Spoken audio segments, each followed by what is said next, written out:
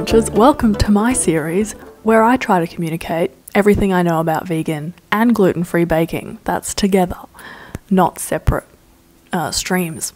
in this season, hopefully, this will be an ongoing series, but in this season, we're going to have four episodes. This one's episode zero, a bit of an orientation yoga with Adriene's style moment, if you will. Then I will be dividing my knowledge and also cooking something in each episode, which will cover cookies, breads, cakes, and buns. In this episode or video, lol, I'm going to be talking about the context of why I sort of threw myself into this world, um, share the resources that I found really helpful, and just tap in a bit to the world of gluten free flours because there's a lot of information there, and I really just want to hopefully keep this succinct and bite sized and absorbable for those both like with a pen and paper writing down notes because they similarly to me have found this world enormously frustrating um, to navigate and figure out and glean like reliable, trusty recipes from, um, as well as those just like, oh yeah, I will pay attention and learn a bit for the sake of my celiac vegetarian vegan friend. For example, we're going to learn things like why gluten free baked goods are often smaller, which, spoiler, I think is because gluten free flours are a lot more expensive. And also, the flours involved just often don't rise as well. And we're also going to learn what I found that works, which so far, honestly, is not a lot, but in the following episodes, I am going to cook some things in each one, and you know, I'm 80% happy with 9 out of 10 recipes in those videos. So we got something to grip onto. But yeah, I'm still learning, forever learning. And honestly, if you don't have to navigate this world, I would advise just running in the opposite direction.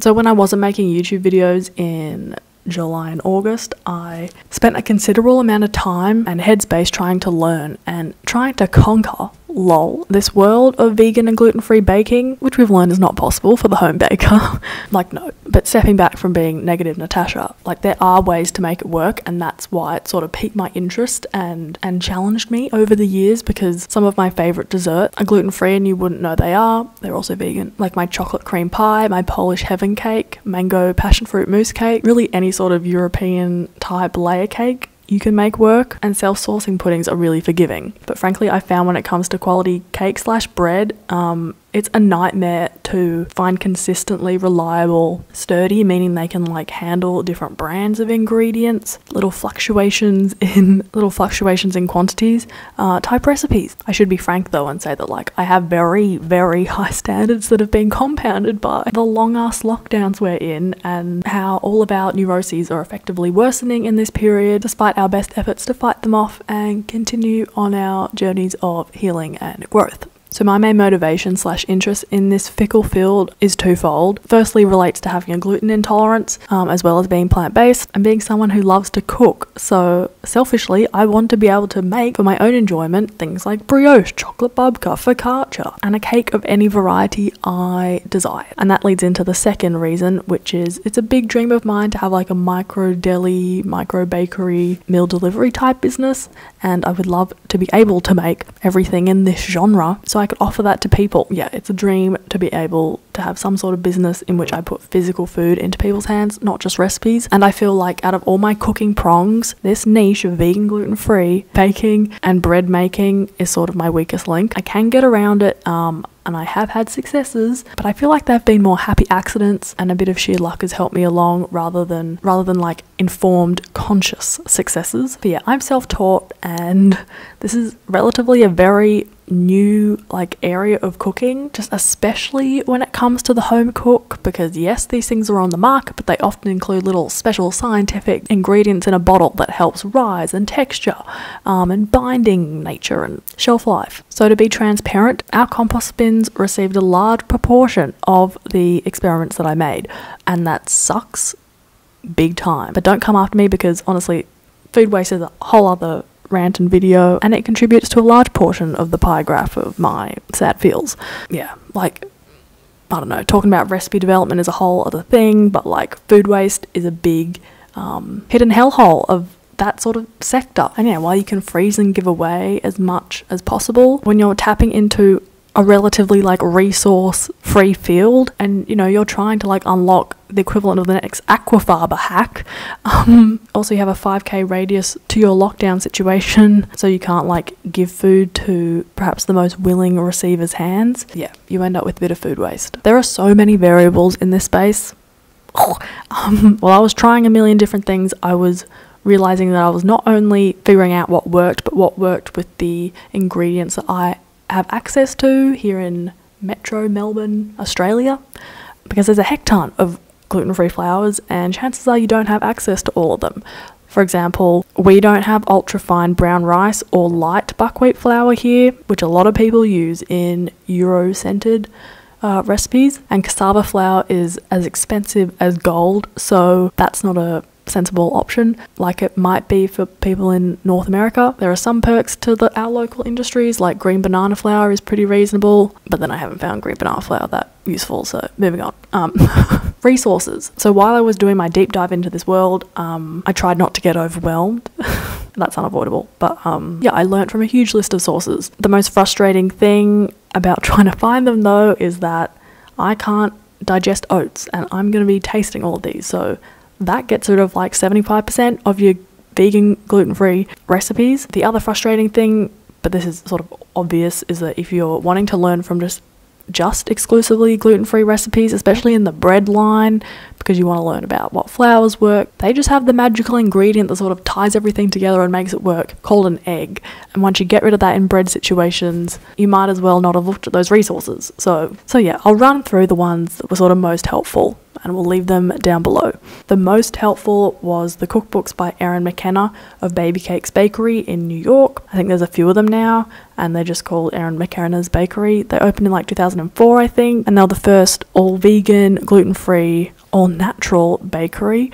Um, also, they claim, at least in America, I think. I learnt a lot from Lauren McGowan's YouTube channel, who makes incredible, sort of creepy housewife themed, very retro, um, vintage inspired gluten free cakes and offers some help for vegan options. Um, the Fresh is Real blog was very helpful when it came to sourdough and yeast vegan gluten free bread. She uses very simple ingredients, keeps it very natural, and explains things really well in her videos. Aran Goyaga's recipes, her cookbook Cannelle et Vanille, takes you through in a very detailed way um, her bread making method. And even though I didn't find her recipes to be the answer, just learning from her and going through her process is a very cathartic um, process. And I really respect and love her, even though I didn't have the most success with her recipes, mainly because of the access. The ingredients she uses, FYI. Um, there's a book called Gluten Free Artisan Bread in Five Minutes a Day by Jeff Hertzberg and Zoe Francois, which honestly was not useful. Like, it should be useful. The title says it all, and all, and maybe like 60 70% of the recipes in there are vegan and I love straightforward methods as well, FYI. So, should have been really up my street, but honestly,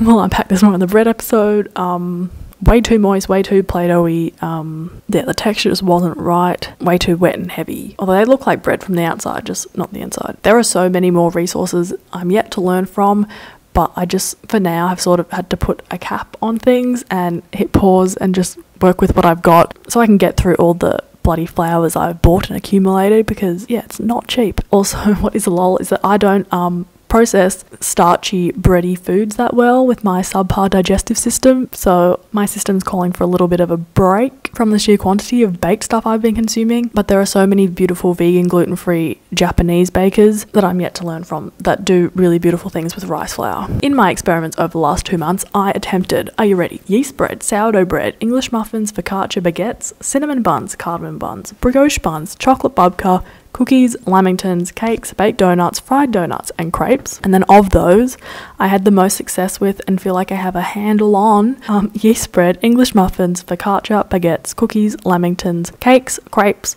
and baked donuts. So flours. Um, the ones that I have tested with include chickpea, lupin, white, sweet rice, and brown rice flours, sorghum, millet, teff, buckwheat, coconut, green banana, soy, corn and cassava flour, although obviously not like all of them in every different uh, ratio and combination for every different recipe. It was more that I did at some point use one of them.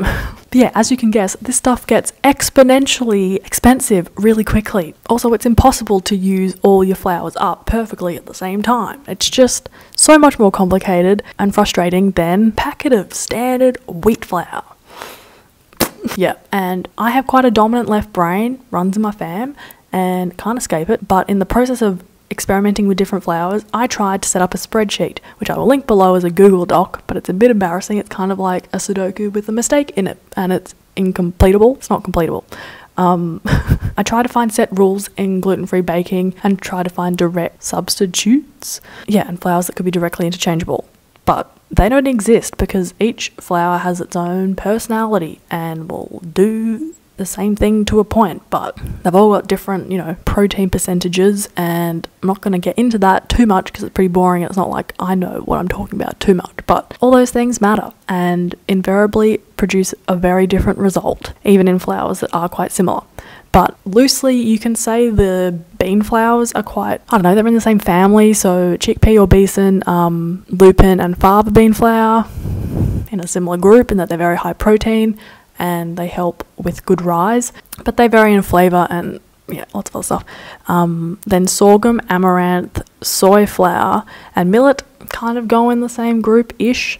You might use them in the same quantity, but what you would use them for, very different. Um, and then buckwheat and teff are like similar fellas, very earthy, not going to be doing anything to bind, um, but great for flavour. So, um, what I found, and I'll be keeping this brief, but it's the most technical thing I'll be talking about all series is that um, yeah you've got to use a blend of flours starches and binders in 9 out of 10 gluten-free vegan baking scenarios and the reason for that yeah there are some cakes you can use like just almond meal and polenta but that would produce a very certain type of cake um, which is delicious but not flexible so the reason you need a blend of flour, starches, and binders is to get an optimal protein percentage, um, which helps with rise. And like body, wheat flour is very high in protein. FYI, if you didn't know that. Um, so when you're blend, you need to, yeah, chuck some maybe some bean flours in there, legume flours to help it along. And the side effect of ensuring you've got adequate protein in your flour arrangement is, yeah, it'll rise well.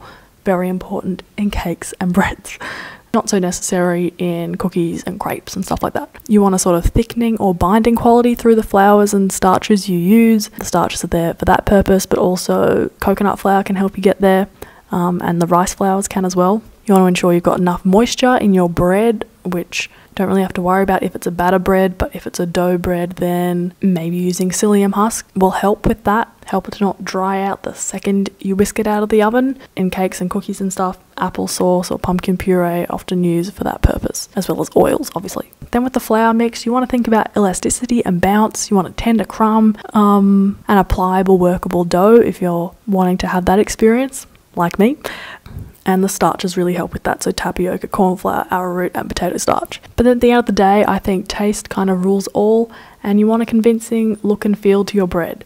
So pretty much just every factor you want to consider. Not helpful, but we'll get into it. We'll get into practical recipes in the following episodes. And yeah, if you like the technical side of stuff, feel free to amuse yourself with that spreadsheet I made and maybe learn a couple of things of the flours that are in the same family. I tried. I wanted to keep this like as punchy, educational, um, and non-overwhelming as possible because this whole world is overwhelming and enormously frustrating. But I hope I can, at least for the Australian fellas watching, save you some money and maybe steer you towards some recipes, flour brands, methods that you will find helpful. But I think even if you're just curious in this world, you can find some takeaway in what I have to share. So hopefully I can shelve negative Nile for the most part. And um, yeah, thank you for being here at episode zero of everything I know about vegan and gluten free baking. And I'll see you in the next episode, which is cookies. Bye.